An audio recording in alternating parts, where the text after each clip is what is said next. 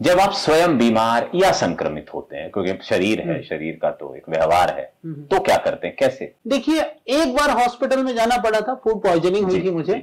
उसको लेकर के लोगों ने तरह तरह की बातें करी। और झिका गया, बड़ा बड़ा एक बहुत ड्रामा भी रचा गया और अब भी लोग कहते हैं तुम बीमार होते हो तो एलोपैथी अरे मैं कहता हूँ ऐसे दुष्ट लोगों से कि भाई आज भी आप नीचे ओपीडी में जाओगे तो एलोपैथी के पचास डॉक्टर दवाई लेने के लिए मिलेंगे। तो किसी पैथी का कोई व्यक्ति होने से दूसरी पैथी में न जा सके ये हाँ। ये ये सीमाएँ ये परिवेश किसने निर्धारित किया है? हम स्वतंत्र है ना? बिल्कुल। भाई हर चीज़ की एक मर्यादा है एक आवश्यकता है। हमारे पास हम प्रति वर्ष हम्म, हज़ारों हज़ारों एलोपैथी के टॉप लेवल के डॉक्टर्स की भी चिकित्सा करते हैं। वो यहाँ सेवा के लिए आते हैं चिकित्सा के लिए आते हैं। तो हम जाकर के उनको कहें कि तुम अपने पैथी में रहो इधर क्यों आ रहे हो? ये मूर्खता है ये एक तरह का दुराग्रह है। और इन दुराग्रहों से हमें दूर रहना चाहिए। और हमारी एक साथ हुई इमरजेंसी हुई। हम्म, अभी तो हम यहाँ पर भी एलोपैथिक शुरू करने वाले हैं पतंजलि में।